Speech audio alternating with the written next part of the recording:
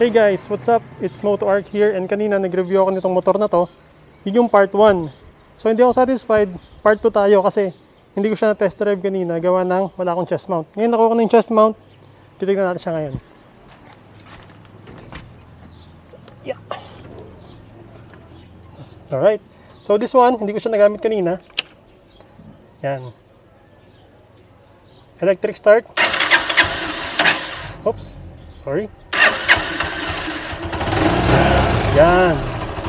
Yung electric start niya guys, napaka-importante niyan. Kasi yung sinabi ko kanina sa first review ko, yung mga push rod, mahirap talaga siyang sipain. Mahirap siyang i-start. Ang ibig sabihin doon sa mahirap i-start, hindi siya mahirap i-start na makakasampung sipa ka, makakalabing limang sipa ka. Yung mahirap i-start guys, ibig sabihin doon, matigas. Matigas yung kanyang kickstarter.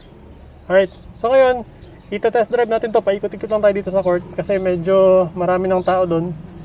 And yung wind noise, hindi masyadong maganda sa tricycle. So, without further ado, let's do this.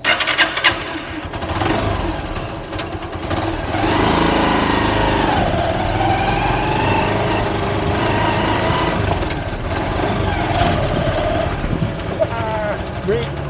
Malakas yung brakes niya guys. Tapos first gear, yan. Talagang user friendly siya kasi sobrang gaan ito guys. Sobrang gaan i-drive, promise.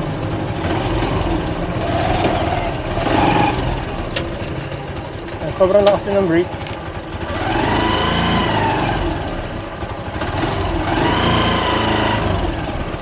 Okay, hanggang dito na lang guys.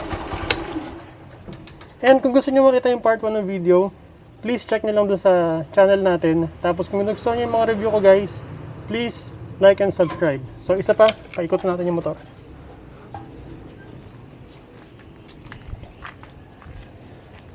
Yan siya guys, Honda TMX 125. Isa to sa pinaka, pinaka matibay na motor na nasa around 50,000, 52,000 yung price. Cash price na yun guys ha. Saan ka pa makakita. Diba? So kung nagdadalawang isip ka kung bibili ka ba ng Honda TMX, tapos may budget ka na, huwag ka na magdalawang isip. Bumili ka na nito, isa to sa pinakamatibay na ah, Pantra. Hindi ka magsisi, hindi kayo magsisisi guys. So yun lang. See you dun sa part 1 guys ha. Yung part 1 ng, vid- ng review na to is nandito na sa channel. So please i-browse nyo lang. And kung gusto nyo mga review ko, please, sabi ko nga, ah, please subscribe, tapos bigyan nyo ako kahit isang thumbs up lang. So, thank you guys and please stay safe. Makakapag-ride din tayong lahat after nitong COVID na to.